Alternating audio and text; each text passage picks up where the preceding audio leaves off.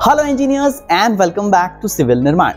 Recently I received one query that sir while checking deflection in the STAAD model, it takes a lot of time because STAAD is checking deflection for all the load combination. So what's the solution for that? So obviously you might say that sir load list is the solution. You can utilize the load list command and STAAD will check your deflection for the load list itself, right? But here is another hack. You can reset your deflection check as well utilizing the DFF command. So do you know that hack? So in today's tutorial, we will understand you can reset your deflection check. Welcome back to Civil Nirman where we turn complex structural engineering into practical insights.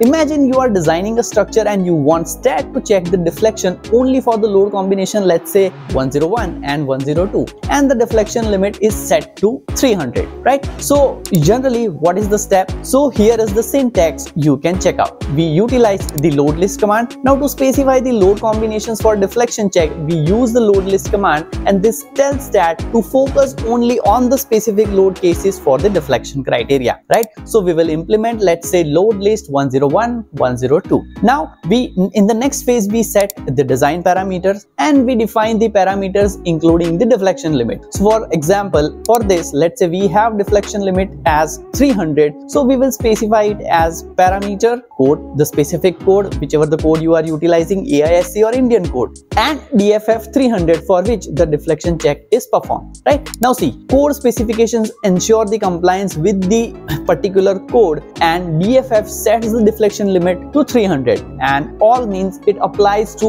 all the members in the model right? And then we run the deflection check and after defining the deflection limit it will instruct STAAD to check the design using the check code all command right? And if your model all the members are within the permissible limit it will show you whether it is satisfying the deflection limit or not. Now, here is the catch as I said, you can reset this deflection. Now you will ask why to reset the deflection parameter. See, here is the critical part. See, STAAD retains the specified deflection parameter until it's explicitly changed. So if it's not reset, STAAD will continue to apply this deflection criteria to all the subsequent load cases and combinations. And this might lead to incorrect or unintended results in the other checks or design. Now to avoid this, you can utilize reset DFF option with a small value and this will essentially tell STAAD to ignore the deflection as a design criteria for the further operations.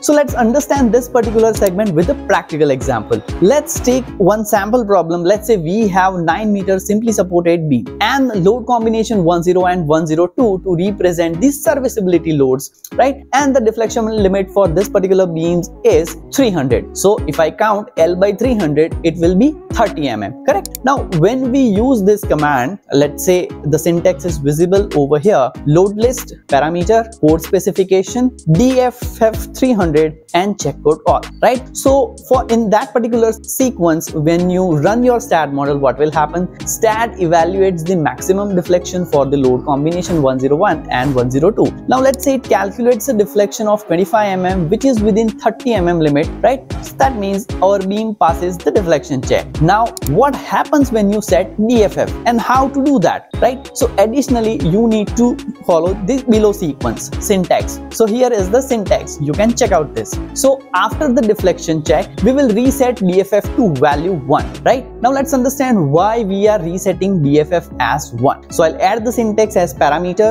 code AISC specification, DFF 1 and all. So the entire sequence will look something like this. So by resetting DFF1, what will happen? And see, now STAAD effectively disables the deflection as a governing criteria because the allowable deflection becomes L by 1. That means for the 9 meter, 9000 mm divided by 1. So ultimately it's 9000, right? Which is unrealistically very large. So this ensures STAAD wouldn't incorrectly flag members in other load combinations where deflection is irrelevant, right? For example, strength load combinations. And second thing, you retain control over which load cases influence the design process. So in our example, if we later run strength checks for the load combination like 201 or 202, STAAD will no longer consider deflection as a design limit. Ultimately, By using load list and resetting DFF1 after your deflection check, you can ensure STAAD evaluates the deflection only where it matters, keeping your analysis accurate and focused. So this approach avoids unintended deflection checks affecting our other parts of the design process. Now, if you like this video helpful, don't forget to like, share and subscribe for more such interesting structural engineering tips. And always remember,